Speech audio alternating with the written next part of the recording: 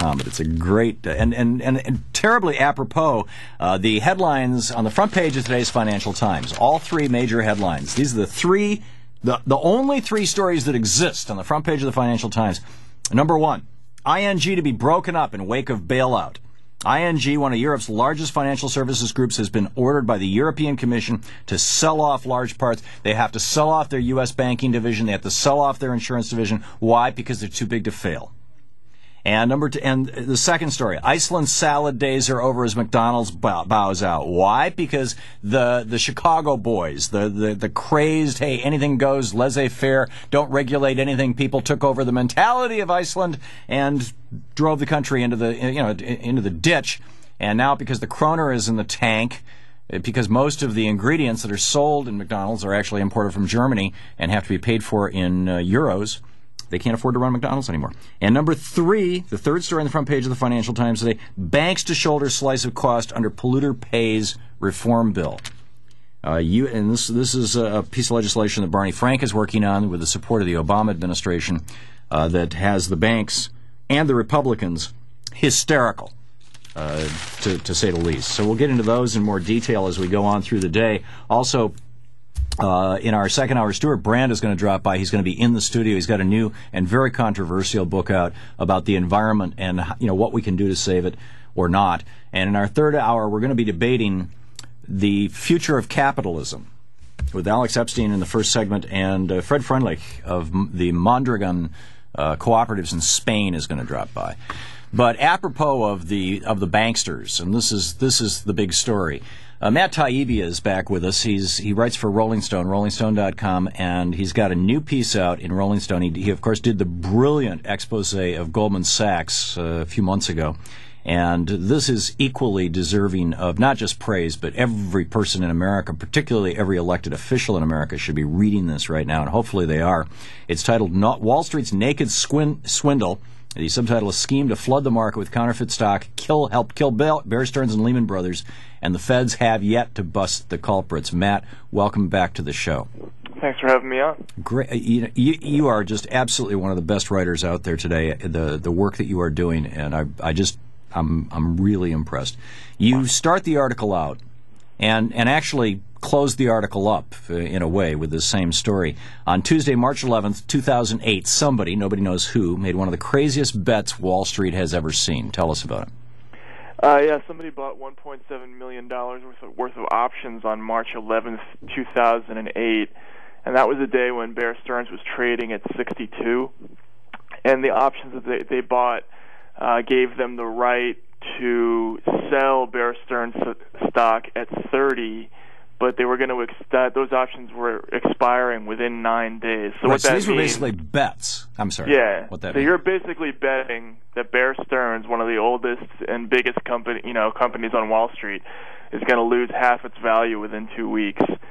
And uh, you know that's the kind of thing that nobody does unless you know something uh, and it just they you know they happened to got they got paid off. They they made this crazy crazy bet, which people that I talked to compared to buying a lottery ticket.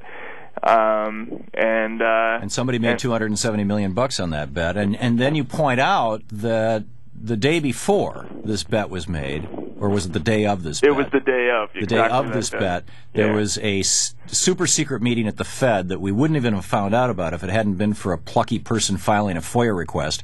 Right. Um, there was a super secret meeting at the Fed that included all the major Wall Street players and Except Bear and, and Bernanke, yeah, except Bear Stearns. Right, right. Everybody was there from from pretty much all the major investment banks on Wall Street and and some of the biggest hedge funds on Wall Street. Uh, you know, Bob Rubin was there representing Citigroup. Uh, you know, there were folks from Morgan Stanley, from uh, J.P. Morgan Chase, which of course would end up owning Bear Stearns within within a week Right. uh, with thirty billion dollars or twenty nine billion dollars of help from the from the Fed. Uh, and all these people were there, and you know they're having this meeting, and as soon as as soon as that meeting breaks up, basically there's suddenly a run on Bear Stearns. You know, Right. people start pulling credit from the uh, the company, and the stock starts plunging, and within uh, within a week, Bear Stearns is being sold off to J.P. Morgan Chase at two dollars a share. Uh, so you know, it, it's something. While it was trading at thirty dollars a share. It was trading, yeah, uh, at uh, on that Friday before when it went into the weekend. I mean, it was in trouble. There's no question Right. about it. But uh, it Well, went you- into the weekend trading at 30, and Hank Paulson stepped in, and when they did the deal over the weekend, they, they he made the price two dollars. Right, and Hank Paulson, of course, the former chairman of Goldman. And uh, throughout this article, you know, the, the, the framing device for this article is this this incredible bet, this this uh, that that somebody made on March Right. 11th that paid off. And uh, the the question is, you know, who's behind this? Who's the who's uh, you may there's one line in this article that, and I uh, I'm doing this from memory, but it was something to the effect of basically our economy is now in the control of 300 white guys in Wall Street, right. and none right. of them are elected, by the way. Right. And, right. And so, what do you know? We've got a gangster economy. I, when when Bush came into office, there was about twenty trillion dollars worth of derivatives in the in you know running around the world. You know, bets on bets on bets. And when this thing melted down, uh, there are some estimates that it was over nine hundred trillion dollars. This in a world where the entire GDP of the planet is only sixty-five trillion dollars. The entire GDP of the U.S. is only roughly fifteen trillion dollars. Over nine hundred trillion dollars worth of bets on bets on bets on bets. I mean, it just had run nuts. We've got a system where the banks that used to make money by loaning money to Main Street to run a business now are making money buying and selling uh, not even tulip bulbs.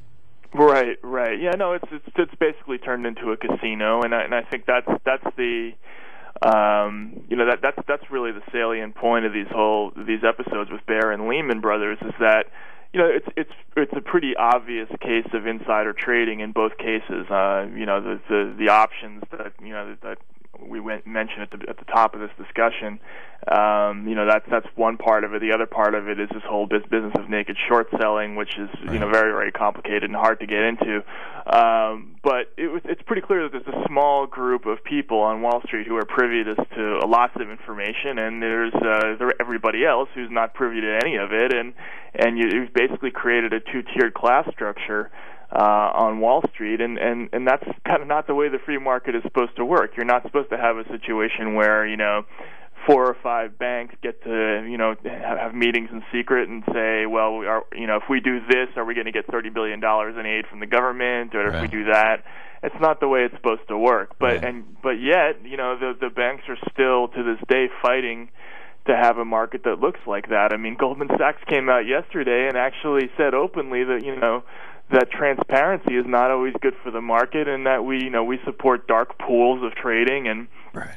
and uh, and that sort of thing. And so, yeah, this is what people need to be aware of that there's really this two-tiered structure. Right. And and the guys at Goldman are getting ready to, to carve up thirty-two billion dollars amongst themselves. While while as you point out in the article, this is a massive transfer of wealth away, away from the middle class. You talk about they're picking the last of the of the bones of the, of the, the wealth of the middle class in America and, and putting it in their pockets. I mean, this is just this is the crime of the century. And and the Obama administration is going, eh, it's fine. We're full of Goldman Sachs people in the Treasury Department and whatnot. So Right, people, right. People need to read your article, Matt Taibbi. Naked uh, Wall Street's naked swindle, the scheme to flood the market with counterfeit stocks, help Bear Stearns, help kill Bear Stearns and Lehman Brothers, and the Feds have yet to bust the culprits.